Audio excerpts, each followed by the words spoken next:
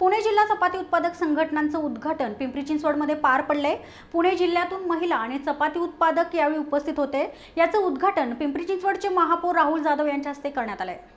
पुणे व पिंपरी चिंचवड तसेच चाकण आणि आजूबाजूच्या ठिकाणचे औद्योगिकरण झाले. त्यामुळे त्या ठिकाणी असलेल्या खानावळ तसेच हॉटेल येथे लागणारी चपाती पुरवण्याचा व्यवसाय मागील तीस ते पस्तीस वर्षापासून करतात. ज्या पद्धतीने व्यवसाय वाढ झाली त्या प्रमाणात व्यवसायीकरण झालं नाही. व्यवसायात येणाऱ्या अडचणी तसेच अडथळे वाढू लागले. कच्च्या मालाच्या वाढत्या किमतीमुळे व्यवसाय अडचणीत सापडला आहे. यावर मात करण्यासाठी पुणे जिल्हा चपाती संघटनांची स्थापना केली गेली.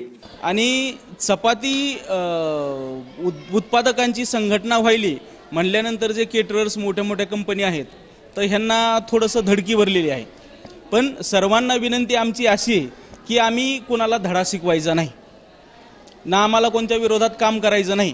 तर आमचं एवढंच आहे की जी गोष्ट आम्ही कष्ट करतो अहोरात्र जाग म्हणजे ब- कष्ट करतो आणि त्या कष्टातून गरमागरम चपाती तुमच्या ताटामध्ये येते. आणि एवढं सगळं चपाती तयार करण्यामागं फार मोठे कष्ट आहेत फार मोठी प्रोसेस आहे.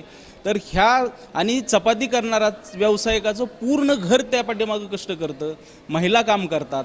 आणि एवढं करूनसुद्धा कष्टकऱ्याला चपाती उत्पादकाला मागच्या दहा वर्षापासून आहे त्याच रेटवर समाधान मानावं लागतंय.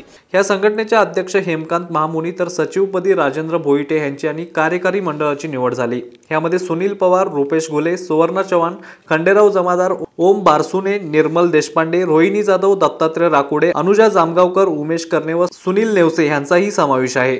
तर माझी अशा अपेक्षा आहे की त्या लेडीजनी पण पाच दहा हजार रुपये पगार घ्यावा. आणि आपली उपजीविका भागवावी.